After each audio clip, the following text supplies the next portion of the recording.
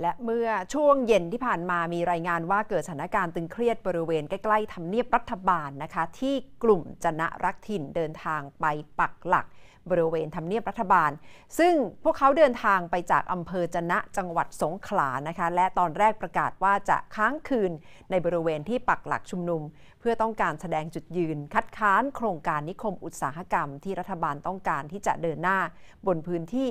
16,000 ไร่ ที่อำเภอจะนะจังหวัดสงขลาค่ะ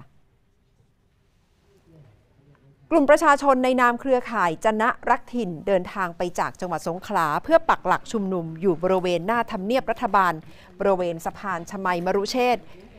เพื่อขอให้รัฐบาลพิจารณายกเลิกโครงการอุตสาหกรรมจนะ บนพื้นที่กว่า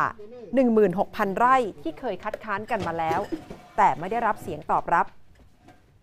ซึ่งพื้นที่ที่ใช้ในการชุมนุมวันนี้ยังคงมีตู้คอนเทนเนอร์ขนาดใหญ่ ที่ตำรวจนำมาใช้ปิดกั้น เพื่อควบคุมพื้นที่ก่อนหน้านี้วางปิดกั้นอยู่พร้อมรั้วลวดหนาม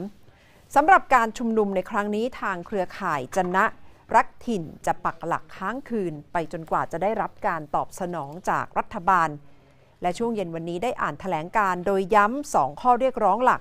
ก็คือขอให้ยกเลิกผังเมือง และการยกเลิกโครงการเมืองอุตสาหกรรมจนะ เพราะว่าส่งผลกระทบต่อชุมชน ระบบนิเวศเป็นวงกว้างค่ะ